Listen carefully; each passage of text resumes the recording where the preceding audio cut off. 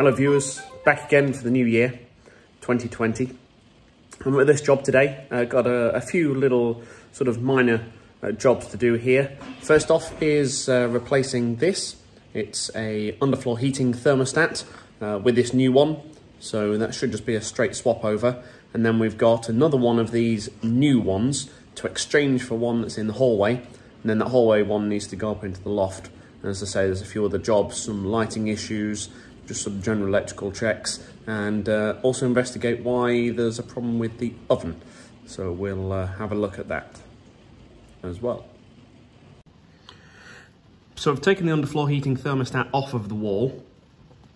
As you can see, it comes through a, into a normal metal back box. There's a few spur just down there, which I've already switched off, isolated, and then checked to see that uh, the isolation does actually work and that there is no power now going through uh, these terminals here. Now, of course, because you have quite a lot of uh, cables going into this, you have six terminals here. You've got your underfloor heating sensor, you've got uh, your mat itself, and then you've got the main power coming in. When we come to actually change over and install a new one, the best thing to do as a top tip is, top tip to some, majority of you out there obviously know, best thing to do is to take a picture beforehand, uh, before you start on doing these terminals, because when you come to put the new one on, uh, the sensor switch may be around a bit of a different way, or uh, it may be configured just ever so slightly differently. I have found that with uh, a few different underfloor heating thermostats and manufacturers that uh, the way they do these is, is all a bit different. So take a quick snap of what's existing because you know that it works in that configuration and then when you come to fit the new one it'll just make it so much more simple. So here we go, the new underfloor heating thermostat programmer timer whatever you want to call it is uh, on the wall now. Obviously I just need to uh, configure it so go off and do the other one. Okay, so next job is to investigate quite why the oven doesn't work. So uh, we have this oven switch here. Uh, don't worry, I've already uh, unscrewed it. It's not permanently like that. And uh, yeah, it, it was very sticky to begin with. When I first tried it, it wouldn't really turn off. Uh, but I managed to sort of loosen it, as happens with these type of switches anyway. Um, and I've then turned it back on again uh, with the power on and the oven went bleep but then didn't display anything on the screen.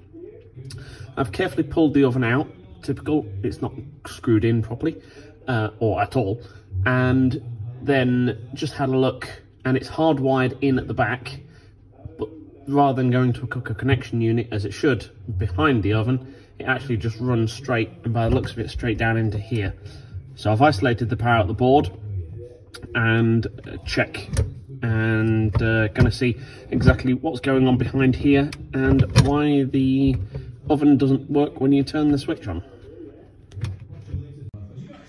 Now, why is it that whenever people install these switches and things, they're always in the most inaccessible places? So, rather than maybe thinking logically that if they're the next person to come, that they will have to do it, or thinking for the next tradesman ahead. There's the floor, there's the cupboard, there's the oven, hello, there's me. The switch is, of course, right under there like that. So you have to lay down on the floor, contort yourself, and try not to fall asleep if you're extremely tired from the previous night. Well, thankfully, despite uh, having to be a contortionist, I was able to change the switch and thankfully it was just the switch that had gone. And so now when you turn the oven on, he says, there you go, the time comes on. Obviously I need to reconfigure the time properly, but at least it now works properly. So the uh, customer will be happy with that. Yes, very tight under there, but it's all sorted now. So now we're out in the garden at this job and uh, Previously, the customer had one of these to light up that statue you've just seen, but obviously that's a bit old hat really now, isn't it? You want something a bit more modern. And that was actually just around the back there, near where that uh, external adaptable boxes. So uh, customer purchased this uh, an LED uh, color changing lamp. Actually comes with a remote control as well, and um, it's a spike light. So uh, there you go. Then you just press the button, and that does that. Obviously during daylight you can't see a great deal, but you can actually see some definition on her legs there. So uh, that looks quite good. And I'll just switch it off so you can see what I mean. There you go. then of course you can have different colours. You can have a red, don't really show up that well today in this light. Green, you can get a bit of colour on that, you see. White shows a bit, and then there's a whole host of other colours. Um, there you go. So that's that quite nice. Or you can get it strobing around or whatnot. But that's it. And that is us finished from this job. Uh, we need to come back and do a couple more bits.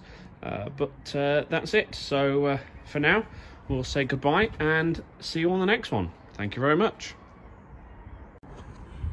Also ps please don't forget to subscribe like this video.